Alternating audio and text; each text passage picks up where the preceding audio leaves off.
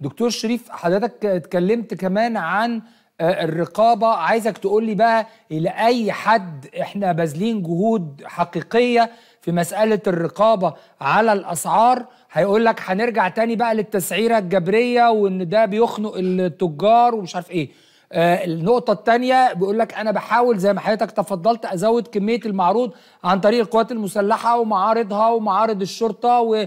والإنتاج بتاع بالذات سلع الأكل والشرب من الدولة. علشان لما المعروض يزيد زي ما حضرتك قلت السعر يقل.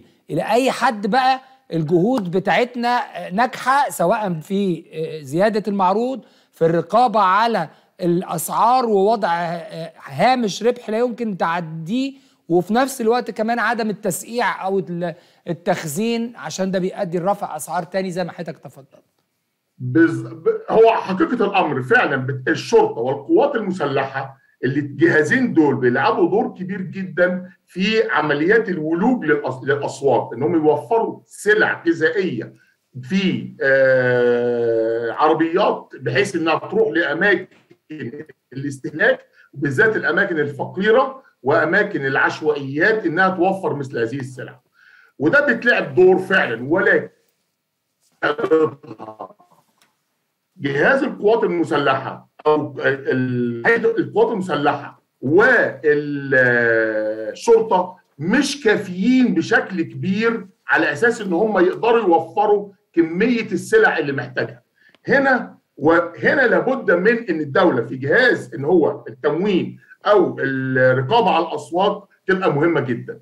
ان إن لما لم لم إن أنا أكشف فين المخ... ال... ال... ان أنا التجار اللي بيعملوا تخزين السلع والدولة عندها كل دوت وعندها المعلومات كلها في هذا الأمر. يبقى نعرف مين التاجر اللي عند اللي خد كميات قد إيه نزل السوق قد إيه باع قد إيه ولابد من إن أنا أحط سعر. القوات المسلحة وجهاز الشرطة بيعملوا بيحاولوا إن هم فعلا يوفروا. ولكن هذه ليست وظيفة الجهاز القوات المسلحة والشرطة. هذه وظيفة الدولة وظيفة وزارة التموين. ولكن نظرا لأن الصعوبات اللي بتواجهها وزارة التموين فالقوات المسلحة مع الشرطة بيحاولوا إن هم يوفروا مثل هذا وهذا أمر يشكروا عليه وده دور جميل جدا لهذه الجهازين ومن هنا لابد إن أنا يبقى في رقابة وإن أنا أحط هامش ربح للتاجر أقول له يا تاجر أنت خدت السلعة دي بجنيه الهامش بتاع 25%